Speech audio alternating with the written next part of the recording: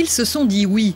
Depuis dimanche soir, la rumeur d'une fusion entre les listes de Gaël et Jean-Claude Briot était dans l'air. C'est aujourd'hui chose faite. Les ennemis d'hier ont enterré hache de guerre pour conquérir la mairie de Nouméa.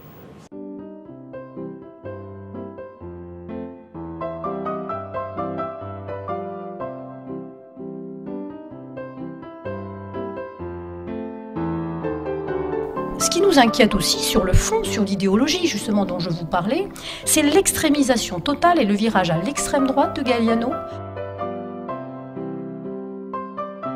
Je vous rappelle qu'à la mairie de Nouméa, a scindé le conseil municipal. Il divise en coulisses et en façade, il fait croire à l'union. Cette division, elle n'était orchestrée que pour une chose, pour que Galliano soit sûr d'être investi à la, à tête, en tant que candidat à la mairie de.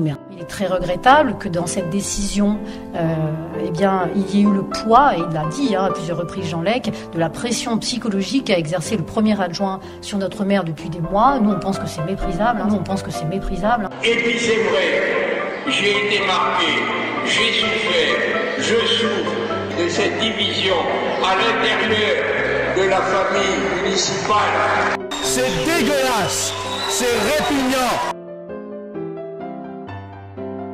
Dans le camp loyaliste, c'est toujours une bonne chose quand il s'agit de se regrouper sur des valeurs communes. C'est que ce qui nous intéresse au rassemblement, ce ne sont pas des marchandages de postes. C'est pas une tractation de places, de choses comme ça. Au total, huit candidats de la liste de Jean-Claude Briot figurent désormais sur la liste de Gaël Yano, dont quatre en position éligible. Nouveau rebondissement. Selon des proches de Jean-François Copé, des irrégularités auraient été commises en Nouvelle-Calédonie, a indiqué à l'AFP un responsable du RUMP resté anonyme. Dans la presse nationale a dit que euh, des responsables, un responsable ou des responsables euh, proches de Jean-François Copé avaient euh, soulevé des irrégularités. Enfin, moi, j'ai pas du tout entendu ça.